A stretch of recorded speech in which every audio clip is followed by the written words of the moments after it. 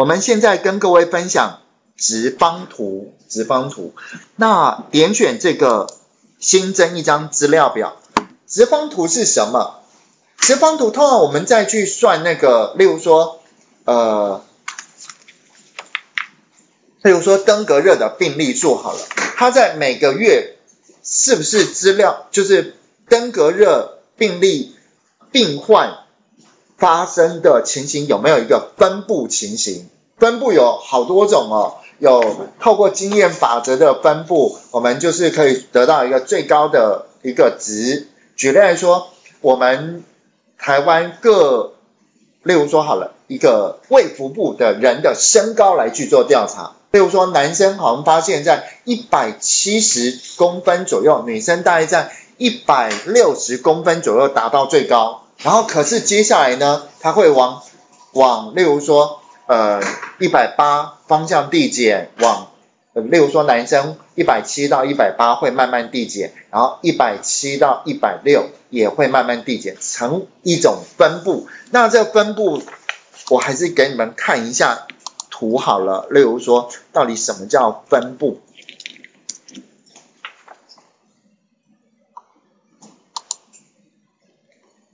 例如说，假设我们讲说胃腹部男性的一个身高的分布，我就随机去抽样，例如说三十个，这是大数法则，或者一千个，那我就想要去看说，哎，这个这个平均平均大概是多少？例如说，假设一百七十公分，然后呢，一百七十公分到一百八十公分呢，就慢慢逐渐的下降，一百七到一百六也逐渐的下降，好。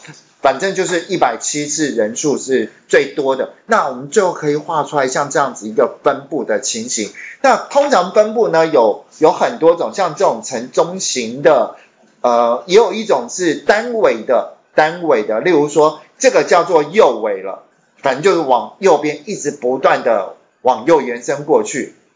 当然有可能是左尾的，好，那还有。还有分布有可能是不规则的，所以那个学呃学卡夫他就是呃他就提出一个特殊的一个分布的计算。好，反正这些分布啊都是跟我们统计是有关系的。我们来去观看一下，例如说我们那个各产品类别各产品类别它的一个销售好了，它的一个。销售的分布的情形是怎么样？好，那我们可能呢，先把这个 sales 快速点两下，就是通常我们算分布的话，大概就只有丢一个数值，然后接下来呢，我们就直接点这个分布图，这样就算完了。可是分布图有一个很重要，就是那个病，例如说好了，我们想要知道，就是说那个登革热啊。好发在几岁？几岁的一个分布，我们可能就要去定义。例如说，四岁为一个间距，啊，那现在例如说，我们这个地方，你是不是要去定义它的一个定义是这样子？就是说，这边是零，然后接下来这边是四百四十七，它一个病的宽度就是四百四十七，然后再接下来另外一个就是八百九十四，因为。四百四十七乘以二就是八百九十四，就是零到四百四十七这边有很多很多，然后接下来那四百四十七开始到八百九十四有多少就开始下降。好，那我们可能哦要去修改一下，修改病，因为这是我们常常会做的事情，所以我们来看一下那病的修改在哪里？病的修改。所以在这个地方，请你看一下哦。刚刚我不是直接只有点一个 sales 吗？对不对？然后 sales 很单纯的、很单纯的点了一下这个呃 histogram，它这边就会变成把一个数值变成两个数值，其实它就会多了一个叫做 bin。所以请问一下哦，bin 是文字还是数字？因为这个东西，这个 bin 是多增加出来的嘛？所以去哪里找？所以你觉得去哪里找这个病？如果没有这个观念，因为这些东西是不是都是来自于维度跟测度，对不对？放在栏列，那这个现在是不是多了一个病嘛？所以你要去哪里找？你会去维度里面找，还是去测度里面找？测度，因为它是那个阿拉伯数字嘛，零到四百四十七，那个四百四十七那是测，那应该是阿拉伯数字。好，所以你去看一下，哎，没有哎，所以就开始往上找。我本来我也觉得应该放在这里面，这是合理的。好，我我只能我只能特别特别，请你们注意一下，他把那个病放在维度里面。那重点是我会想要修改，怎么修改呢？滑鼠右键，然后有一个叫做 Edit A、D 来去修改一下。通常我们不是电脑，我们都会取一个整数值来去做整数值，也许是零到一百，一百到两百，两百到三百。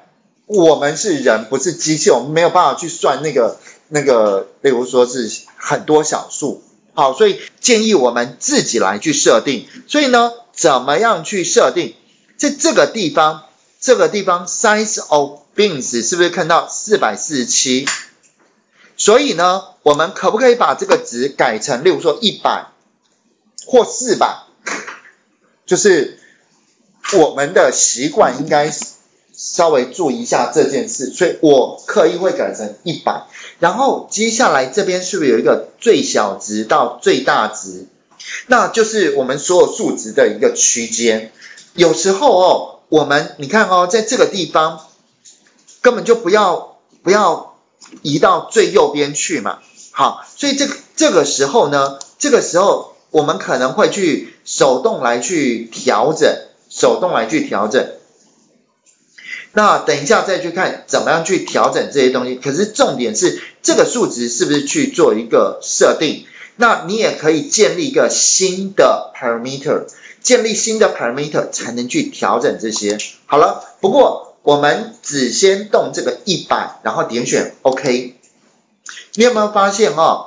你有没有发现它这边它右边还是帮我继续算？所以呢，它就切成，例如说零到一百，零到一百。好，然后接下来第二个是不是有看到吗？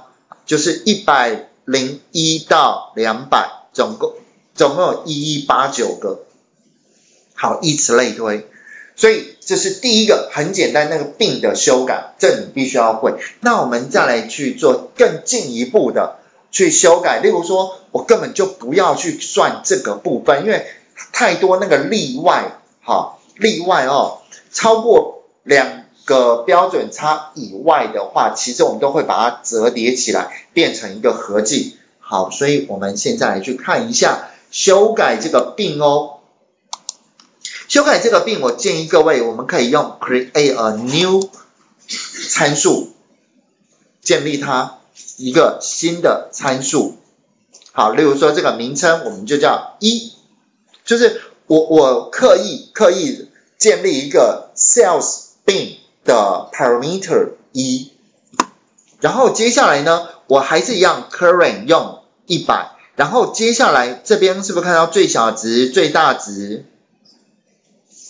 然后接下来在这个地方，这个地方我们是不是就可以来去调整一下了？假设我的最小值在这个地方，然后最大值。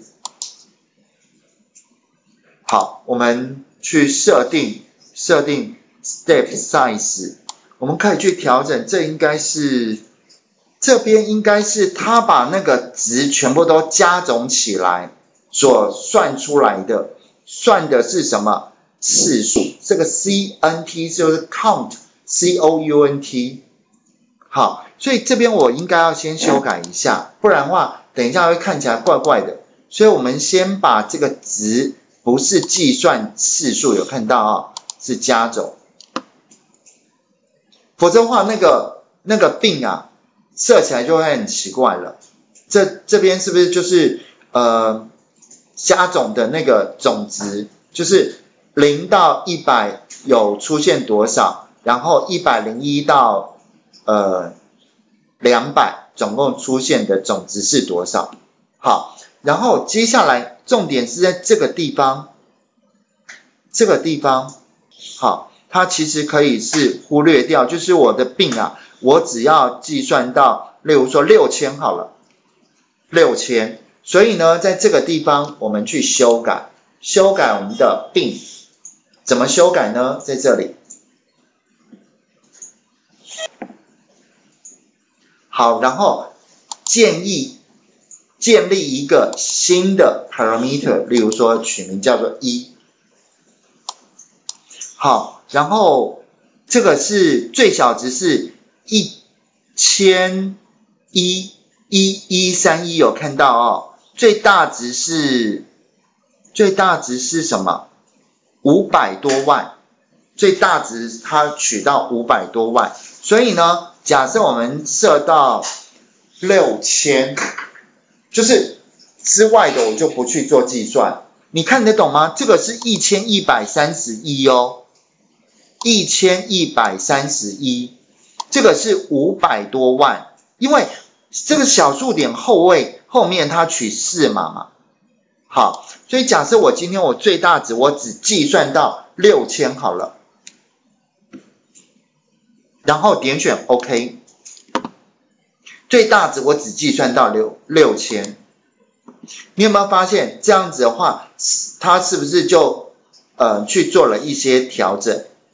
所以它就不会呈现到后面那个拉了很大很大那个尾巴啊，他就帮我去计算出来说它所产生出来的次数是多少。但我们也可以看到看得出来，这是呈现一个右尾，就是右边的尾巴会拉得很长很长很长。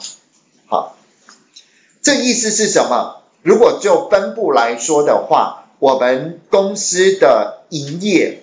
公司的销售都是以那个单价比较低的为主，也就是说，大概维持在呃一呃到两千块之内啦。然后接下来呢，这个金额越大的所占的笔数啊是越少的，这是它分布图的意思。所以这就是 histogram 很重要的一张图，记得哦，要学会修改这个。数据桶，我后来查到这个病并翻成那个那个饼啊把啊，好都不太好，翻成桶会比较适合。好了，那就提供给你们参考一下。